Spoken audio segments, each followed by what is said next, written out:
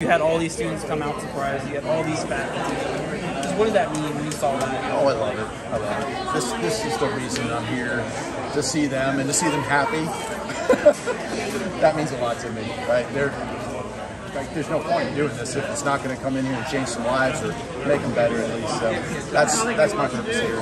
I'm so happy that they're here. I love seeing appreciate down here. He's a good kid, and I haven't had him in class for almost a year now. So to see students that I don't have coming down and, and being happy for them, that's really cool. Anything else you want to say? I I just want the world to know this. Um, All of us at Watauga High School and the Watauga Innovation Academy want to wish Erik Mortensen a huge congratulations for being named the 2024 Northwest Regional Teacher of the Year. Erik's dedication to the students, the Auto Tech program, the community, and our school is second to none. Way to go, Erik. Well deserved.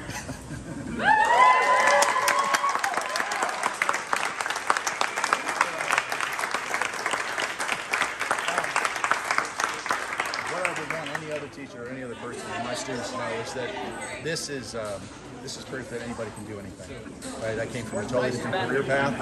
I was never. Uh, I mean, I thought about being a teacher at some point in my life, but I did not have the education for it. And yet, I've come in here, and hopefully, I've changed some lives. So, if there's anyone out there that thinks they can't, they can. That makes sense? I appreciate it.